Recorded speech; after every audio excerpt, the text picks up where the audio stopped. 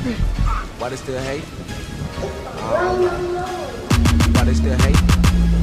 I don't know. We gon' reign forever. We gon' reign forever. We gon' reign forever. Uh huh. Put for my nation while they still hate. Sons of God stand up for formation. We ain't got time for no Caucasian feeling our people head up with abomination. Waiting for the Lord, we still patient. Truth coming out is real blatant. I got a holy diet, I don't eat bacon. Watching out for them gutter rats, they still faking. They ain't no Jews, we the real Jews. Jeremiah 14, verse 2. Had to cut them up with a script right quick. Had to let them know I ain't no church dude. Nah, I ain't no church dude. I'm an Israelite, all about war. Pull a sword, gotta show the man what the verse do. Came with a friend, he gon' need himself a hearse too. Y'all, y'all, y'all should've known I don't play like that. Cut him up once, then he came right back. Cut him up again, then he fell right back. I don't get why he wanna catch a fade like that. I think he played himself. Oh, I think he played uh-huh. himself. We the best in the world, that's top shelf. We the Israelites coming for your wealth. Reign forever, we gon' do it big. Break the nations like a little twig. In the streets, we get it in. We got precepts that'll split your wig. Why they still hating? I don't know. Why they still hating? I'm putting on for my nation. We got people out here right right now busting moves right in front of us, like we just some dumbass niggas or something. Give me Galatians chapter. The word of God coming out. Niggas still want to bust a move right here in front of us. You know what I'm saying? Destroy our own people with these damn drugs that you're selling. See what you got. Galatians chapter 6 and verse 7. Be not deceived. God is not mocked. The scripture said, be not deceived. God is not mocked. You can't mock God, brother. I'm going to tell you right now. You cannot mock God destroying your people. Give me 1 Corinthians chapter 3, verse 16. You hate your people, bruh. You hate your people, and you hate God, and you hate your son. How the hell you gonna sit up here and be selling drugs right here while your son in the car with you? Then if the damn police pull up, y'all niggas running like a mob. But you the same niggas that claim, that claim that you gangster. But you won't shoot a shot, but you won't do a damn thing to the police, man. Y'all weak as hell, man. It is what it is. I'm telling you the truth. Man, I'm gonna show you something. Give me First Kings 2 and 2 real quick.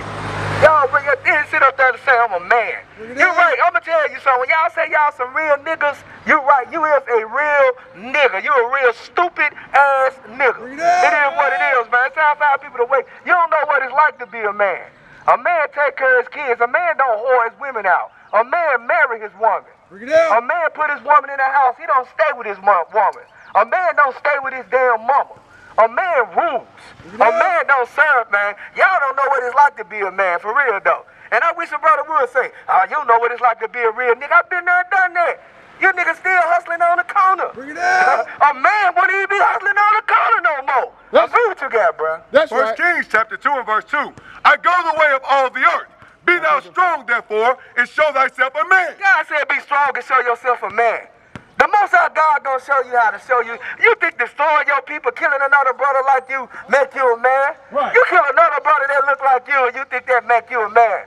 That don't make you no man killing another brother that look just like you. That's I'm gonna tell you the problem with our people, man. We so divided amongst one another. We think we each other enemy. What about the white man? You ain't gonna do a damn thing to the white man. What about the white man? What about the Arab man? These Arab men come to your neighborhoods, they set up stoves, they have sex with your women, and you call yourself a man. What you got. And keep the charge of the Lord thy God, to walk in his ways, to keep his statutes, and his commandments, and his judgments, and his testimonies, as it is written in the law of Moses, that thou mayest prosper in all that thou doest, and whithersoever thou turnest thyself. This how you be strong and show yourself a man by keeping God's commandments. How y'all young brothers doing over there today? How y'all young brothers doing over there today? You, did you know you're just right according to the Bible, bruh? Did you know that we were God chosen people? Did you know that slavery is in the Bible and slavery is Bible prophecy, man? and we done went in captivity for breaking God's command. Hey, bro, if you got any questions, come down here and holler at me, man. Be right here. Come and holler at us.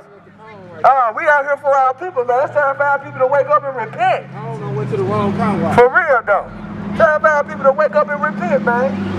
What makes you a man? Selling drugs to your people don't make you destroying your own people. Right. You ain't selling that to the white man. You ain't in the white man neighborhood, them big and them rich ass neighborhoods breaking him down.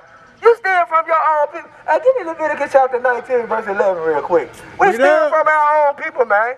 Hell, you break, you break into brother house next door to you. That's, that's crazy. Hell, try to steal his drugs, to steal his TV, but the damn white man got rings and watches worth fifty and sixty thousand dollars in his house. You won't do a damn thing. It Man, y'all soft in the mud, man. I'm telling y'all, that don't make no man. Listen to this ring. Leviticus chapter 19 and verse 11. Ye shall not steal, God said you should not steal, read. neither deal falsely, Neither deal falsely. That's the problem with you. You think you, that's all y'all do. We deal falsely, right? neither lie one to another. God said you shouldn't need to steal, need to deal falsely, need to lie to one another. That's what comes when you hustle on the streets. When you hustle on the streets, stealing comes, lying comes, and dealing falsely. You ain't doing nothing but destroying your own damn people, man. That's why a lot of y'all gonna die. A lot of y'all gonna die. You gonna end up. Give me Isaiah 51 real quick, verse 20. Bring it on. Isaiah 51 verse 20, man. We ain't out here to play with nobody. God building an army on earth. God building an army. This is the biggest movement going on right now. That's The- right. hey, the difference between the Crips, the Bloods, the GDs, and the Vice Lord, we together. We all on one accord. You know what I'm saying? We on one accord, man. We building an army on earth. We real with it too. We all we all around the world, bro. We travel. Y'all niggas ain't traveling. For real though, you need to wake the hell up. For real though, wake up and repent. Right. Read what you got. Isaiah chapter 51 and verse 20. Bring it Thy sons have fainted. God said, My son is fainted. The sons of God have fell off. The sons of God is the people that you see on the street corner selling drugs to one another. You think you're gonna sell the drugs right in front of us and we ain't gonna say nothing about it? We ain't scared of nobody out here. Right. So what you gonna you gonna do something to us? Don't do it to the damn white man. The white man won't, won't give you a job. The white man the one that'll pull your ass over right now, search you, grab your booty, grab your nuts. You wouldn't do a damn thing to him, man. Right. That's called being soft. That's right. You right. let that man molest your ass out here. You let that white man, hey, you let that white man molest him out here in front of everybody and don't do nothing. But yet when a brother come out here and speak truth, oh man, you got that evil eye. Bring it Man, on. hell no, read what you got. Bring it out, Thy huh? sons have fainted. God said my sons are fainted. He talking about you Israelites. Whether you like it or not, you the Israelites. Yeah, we speak rough. we going to come out here and speak rough. If you're from the streets, the way I speak shouldn't even not uh, even phase you. You should be feeling where I'm coming from. You really from the streets. Bring it we ain't your Christian pastor. We ain't gonna come out here, oh, nah, and uh, ha, ha. But we'll come out here and tell you the truth. Bring it Read out. what you got. They lie at the head of all the streets. God said, my sons is the, the sons of God is the ones that's laying at the head of all the streets. Listen, read this from the top again. The Bible talking about you. We ain't out here because we hate our people. We ain't out here because we want to see our people go to jail. We out here because we want to see our people wake up and repent and keep the commandments of God. That Yeah, is what it is, man. Don't disrespect us out here. We won't disrespect you. Don't sell no dope out here in front of us while we teaching the word of God. We ain't gonna sit up here and uh, uh, put your ass on blast. Bring up. on. Read what you got. Isaiah chapter 51 and verse 20. Thy sons have fainted. God said, Thy sons have fainted. You the sons of God. You so-called Israelites are the sons of God, right? They lie at the head of all the streets. He said, His sons, the sons of God, is lying at the head of all the streets. Who you see posted up on the street corner? What nation of people talking about, man, I'm in these streets? Read them.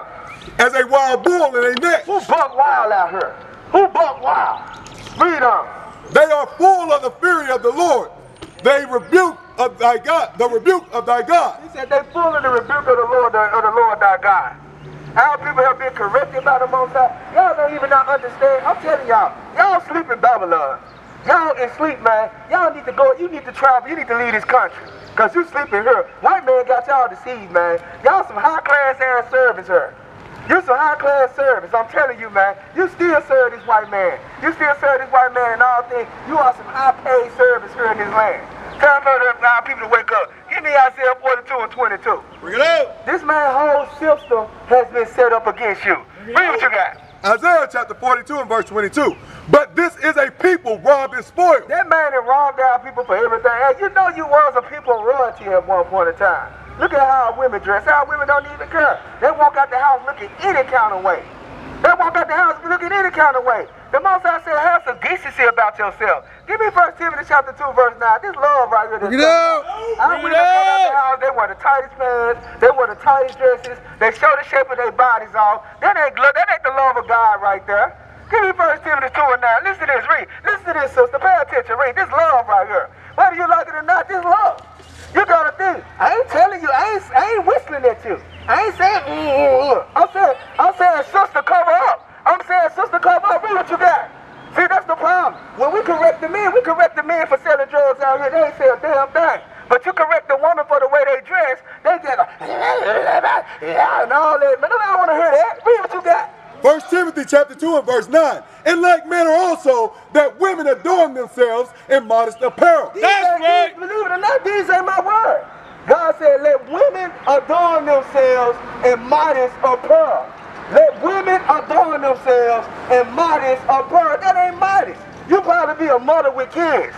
You probably be a mother with kids. Your son walk around looking at your butt because your dress too tight and it's too short. You sit up there just pull your dress up. It's already short to wipe your glasses off. That is not modest, sister. That is, that is shameless. Read that again. In like manner also that women adorn themselves in modest apparel. These ain't my words. This God. God said, let women adorn themselves in modest apparel. Modest apparel means to be covered. God wants you to have your body covered, sister. He don't want you showing off the shape of your body. He don't want you having on the tightest dress you can find or the tightest pants you can find. Read on. With shamefacedness. Most High God wants you to be shamefaced, not all clamorous, oh, not all with an attitude. Read on. and sobriety, not with braided hair or gold or pearls or costly array, But what? but which becometh women professing godliness with good works. God wants you to be a woman that's professing godliness with good works. And give me Deuteronomy 22 verse 5. Bring it out. Bring How it you gonna out. dress modestly? Not with no tight dress on. Get you a loose dress and not with no tight pants on. Time for y'all to wake up, man. Bring it out. Our women, the only nation of women on the streets, they, they, they wear the tightest. They're like them little sisters that walked up here early. I'm surprised the brother didn't call it out. They had on the leggings. How many y'all look? Hey, hey, tell the truth, man. When you see our women dress like that, do you want to marry them? Hell no. How many y'all brothers out here married? How many of you brothers out here is legitimately married, except the brothers over here? But how many of you brothers are born from the stage of being a boy to growing up to being a man? If you got a beard on your face, God wants you to grow it. That's how these faggots able to get a lot of y'all. These faggots able to get a lot of y'all. Why? He shaved his beard off his face. He, he make his face look real clean. He sit up there and put on a dress. He even a faggot, your sisters love wearing pants. Even a faggot knows to put on a dress to be more feminine. He, even a faggot understands that pants, pants is a masculine look. A faggot even understand that. For real though. He know to put on a dress to be more feminine. That's how he be tricking y'all ass around here later. It out. He be tricking you. I'm gonna, I'm gonna show you why. Give me Sirach nine. hey, give me Sirach chapter nine. hey man, y'all know. Hey, I'm come out here and keep it real with y'all, man. For real, at the end of the day, you're gonna be like, hey, brother kept it real out here, man. I love my people. I'm just gonna tell you, tell me read the laws of God out here. Y'all think when you repent and keep God's commandments, you die. You ain't died, you just starting to live. If I die before you get rolled over, when I come back, when Christ come back, I'm coming back with Christ rolling over that ass uh, to- again. That's right. though, it, ain't- it ain't- it's gonna happen regardless, I promise y'all. Read what you got. Yeah. Sirach chapter 9 and verse 5. Now start at seven, cause I'm gonna show you how a lot of y'all probably be getting got late at night. That faggot shaved his beard off his face. He put some weave in his head. That's why y'all need to quit. Why you keep dealing with these sisters that got weave in their head? Bring it out. For real, tell them to take that stuff out their damn head, man. That's how the faggot gets you. He sit up there, he he he he, he, he um, shave his face bald. He put a wig on his head. He throw a dress on. Now here you go, you you going as hell late at night. Read what you got. Sirach 9 verse 7. Look not round about thee in the streets of the city, God said, don't look around about you in the streets of the city, read. neither wander thou in the solitary places thereof. He said, don't be looking for uh, no women. That's our problem. We all in a solitary place in the streets of the city. It's dark at night. That's how these faggots able to uh, get you, brothers.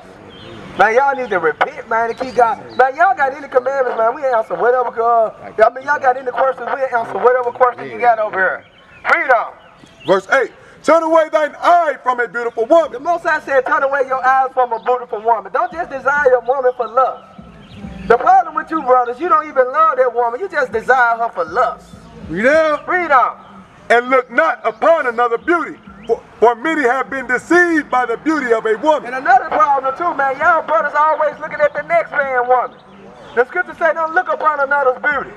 Because men have been deceived by the beauty of a woman. Okay, she might be fine, but she might be fine with her husband. And her husband might be crazy. He probably already killed two niggas this year. Right. And you want to play around. You want to Yeah. yeah. this woman. You want to try to holler at this woman.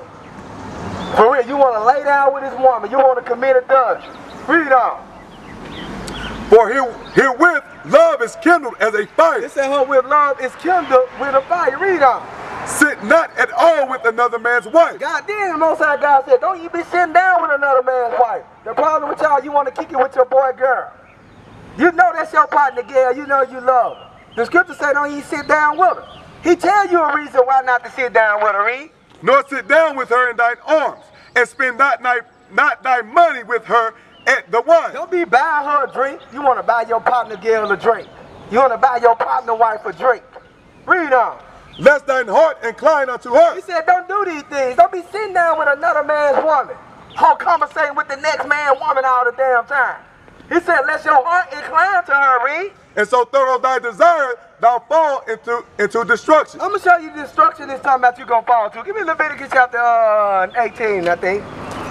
Say your heart is getting inclined to her. Man, what we showing you is the laws of God. Y'all never knew this. And these the instructions that you need to uh, survive in this captivity. This instructions that you need to live a peaceful life. A lot of our people gonna die because they will not follow God's instructions. Yeah. For real. They see people dying every day. Everybody, every day you see somebody die. And the reason why they die is because they didn't follow God's instructions. I mean instructions. Uh, Leviticus chapter 18, I want the one about adultery. Verse uh, 20, uh, hold on, let me look at it. Now, verse uh, 20. Leviticus chapter 18 and verse 20. Moreover, thou shalt not lie carnally with thy neighbor's wife. You hear that? The Most High said, don't lie with your neighbor's wife. That's why he said you'll fall in destruction. You're supposed to be sitting down with another man's woman. Now give me Leviticus chapter 20. Let's see the judgment for laying with your neighbor's wife. Let's show you how you can fall into destruction. Yeah, read what you got. Leviticus chapter 20 and verse 10. And the man that committed adultery with another man's wife, Did you hear that? This for all you brothers that say, yeah, I just effed that nigga girl. Yeah, I effed her. I just hit that nigga girl. Y'all love saying that you can have sex with another man woman. You glorify having sex with another man woman. For real, that's wickedness. Read. even he that committed adultery with his neighbor's wife, the adulterer and the adulteress shall be surely put to death. God said both of y'all need to be put to death. You'll fall into destruction land with another man's life. Hey, how y'all brothers doing over there today? Hey, come on let us for a minute, man. Let me show you who you are according to the Bible. Let me show you that slavery is in the Bible and slavery is Bible crossing. Right. Let me do Deuteronomy 28, verse 68.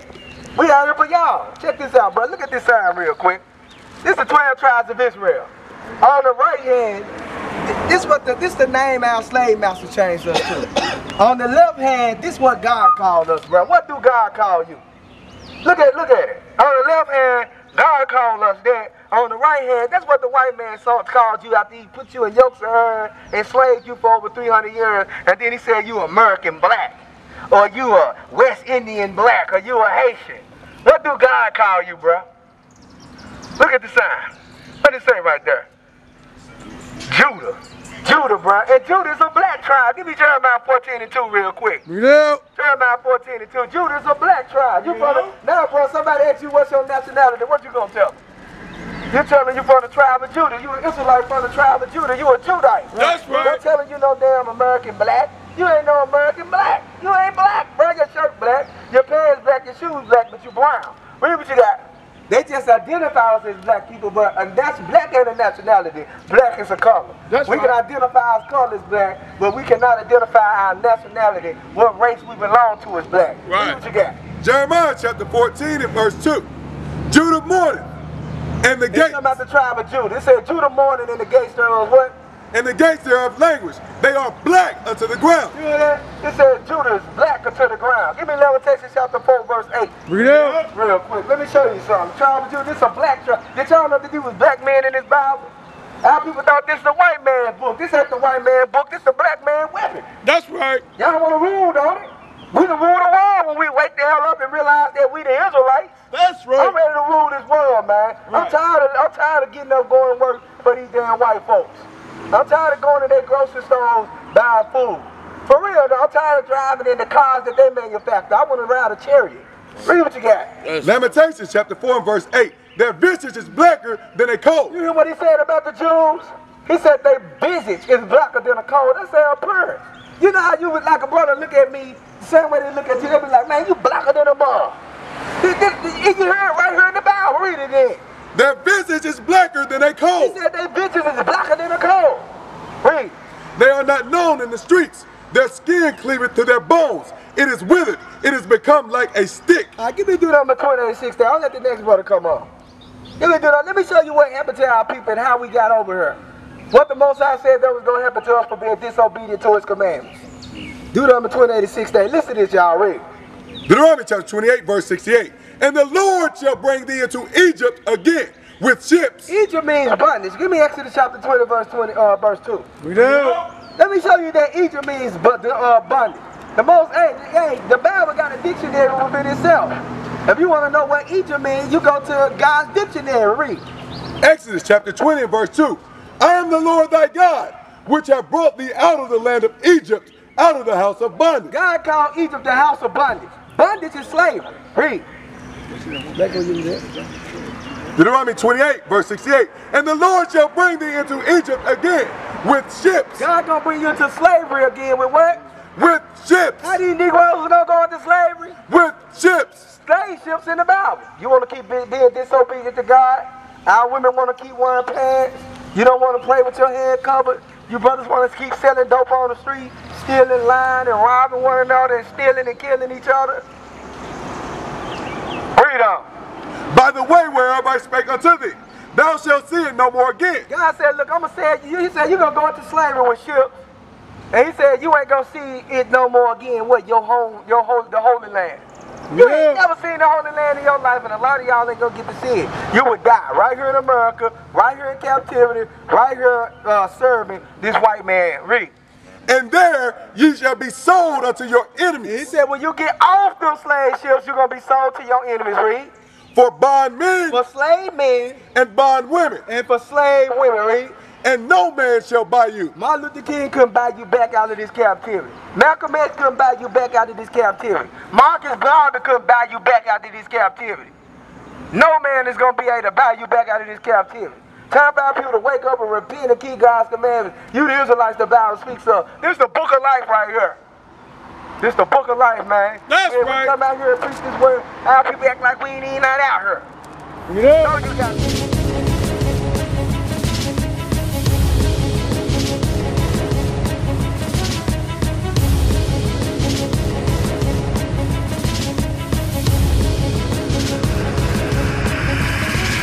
Shalom, Israel. I'm Elder Nathaniel, Israel United in Christ. YouTube likes to shut our channels down, as some of you have noticed, ever so often. Subscribing to join IUIC will assure you will always stay connected to our YouTube accounts. We want to do our best to make sure this truth gets out. Please click and join our subscriber YouTube channel called Join IUIC to stay linked to all of our videos. So again, please make sure you subscribe to this and join IUIC channel to get your latest updates from all our YouTube channels. Shalom.